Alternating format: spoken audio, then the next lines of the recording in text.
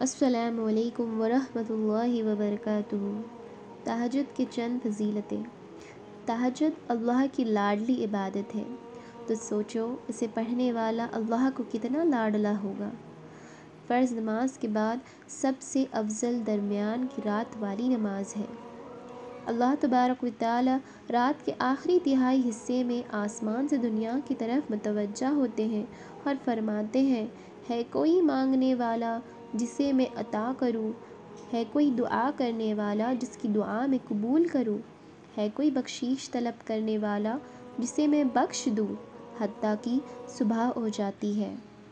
हमारे नबी मोहम्मद सल्लल्लाहु अलैहि वसल्लम ने फरमाया, रात के दौरान एक ऐसी घड़ी होती है जब मुसलमान इस दुनिया और उसके बाद की जो भी भलाई माँगता है, उसे दिया जाता है और ये वक्त हर रात को होता है। जब आदमी रात को उठे और अपनी बीवी को भी उठाए और दोनों दो रकात नमाज़ अदा करे तो अल्लाह इनका नाम कसरत से ज़िक्र करने वाले मर्दों और औरतों में लिख देता है। तहजद की नमाज़ वो वाहिद नमाज़ है जो मौज़िन की नहीं, दिल की अज़ाम पर पढ़ी जाती है। तहजद के वक्त मांगी हुई दुआ कभी रद्द नहीं होती।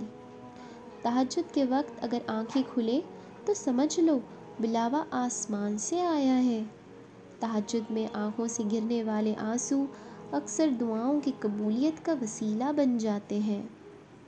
अगर आप सोच रहे हैं कि आपकी ज़िंदगी में सुकून नहीं है तो क्या आप जानते हैं सुकून क्या है? सुकून अपने रब से अकेले में बैठ कर गुफ्तु करना है। और पता है उस वक्त अल्लाह हमसे कितना करीब होते हैं? इतना करीब कि अल्लाह और तुम्हारे दरमियान किसी तीसरे के आने की भी गुंजाइश नहीं रहती। इतना करीब कि ना आसमान वाले तुम्हें अल्लाह से जुदा कर सकते हैं और न ज़मीन वाले। फिर अल्लाह सबको खामोश करवा कर तुम्हारी तरफ़ मुतवजा होता है और फिर ये नहीं देखता कि क्यों आए हो, बल्कि बस ये देखता है कि उसके पास आए हो। फिर कहता है ए मेरे बंदे, फरियाद करो क्या चाहते हो? फिर ऐसे दुआएँ कबूल करता है, जहाँ से दुआ भी हैरान रह जाती है। और फिर वहाँ से मदद भेजता है, जहाँ इल्तजा भी नहीं जा सकती थी।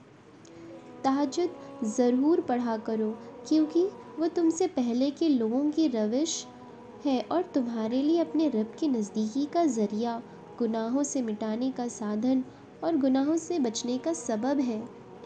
और आखिर में ये दुआ ज़रूर पढ़े नमाज़ के बाद। अल्लाहुम्मज अल्फ़ी क़ल्बी नूरौ फ़ी समई नूरौ फ़ी बसौरी नूरौ बैन यदया नूरौ मिन खल्फ़ी नूरौ आन यमीनी नूरौ अन शिमाली नूरौ फ़ौक़ी नूरौ मिन तहती नूरौ अज़ीम ली नूरन या रब्बल आलमीन। प्लीज़ तहजद के आदि बन जाए, अपनी दुआओं को कबूल करवा ले और अल्लाह से करीब हो जाए। जज़ा